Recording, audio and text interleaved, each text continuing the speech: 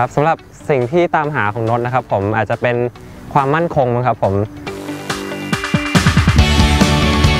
ความมั่นคงของผมอาจจะเป็นเรื่องใจมากกว่าครับผมจิตใจที่แบบมั่นคง หรือว่าแบบเราออกไปทำอะไร ได้ทำอะไรที่เราชอบแล้วได้ทำอะไรที่เรารู้สึกสบายใจแฮปปี้เรารู้สึกมั่นคงกับมันอย่างเงี้ยครับผมโดนคนรักหรือโดนคนเกลียดเนี่ยถ้าใจเรามั่นคงแล้วยังไงเราก็มีความสุขครับผม ถนนที่ไรจดหมายและมาพบเจอผู้คนมากมายภายในใจยังเหมือนบางอย่างขาดหายสำหรับไปแล้วเอ่อสิ่งที่ไปตามหาก็คงเป็นความฝันครับ ความฝันของไปจริงๆแล้วตั้งแต่เด็กเนี่ยก็คืออยากเป็นนักดนตรีครับ อยากมีวงดนตรีวงหนึ่งอยากประสบความสำเร็จมีอัลบั้มเป็นของตัวเองได้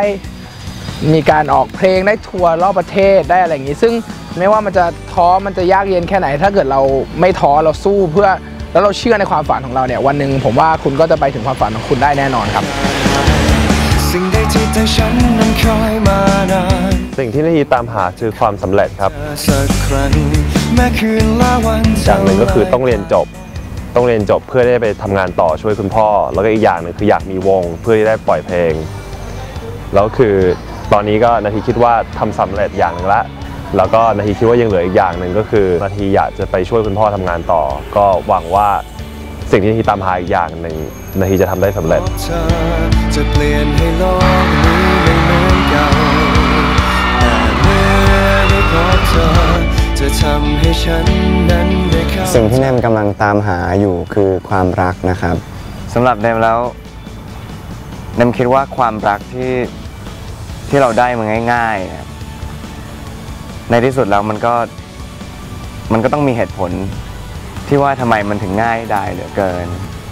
ในขณะเดียวกันความรักที่เราต้องพยายามไปเรื่อยๆ โดยที่เราไม่รู้หรอกว่าจุดหมายปลายทางแล้ว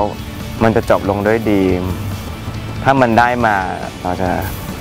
รู้สึกว่ามันเป็นสิ่งที่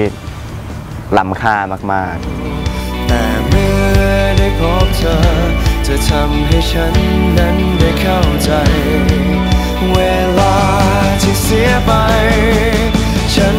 นเสีย